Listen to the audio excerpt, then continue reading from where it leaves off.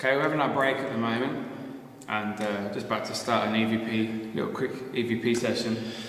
And uh, looked at the table and the chocolate bar wrapper on there, here, I looked over and it went like that and dropped out again. so uh, I think we'll ask some questions, don't you? Just lifted up, it didn't blow away, did it? There's, nothing, there's no breeze here.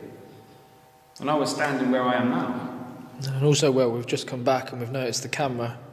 It's run out of battery now, hasn't it? But uh, One of our locked off cameras that was actually filming in the kitchen. it was over where that entrance bit is there.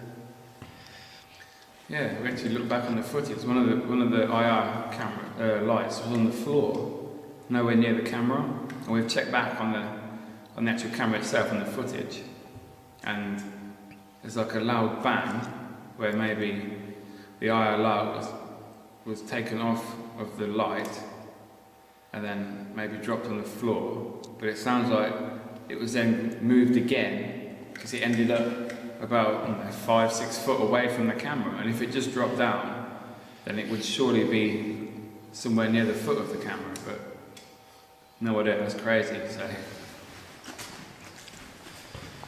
so basically, the camera was here on the tripod, like this, as it were. We had an IR light on here. Another light was attached to the camera itself. And as you can see, the battery to that camera, the IR light that came off, obviously landed there, but the light itself was over here, Hmm. where my foot is. So if it fell,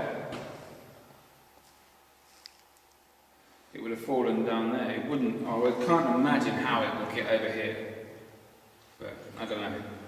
You've seen the footage, make your own mind up.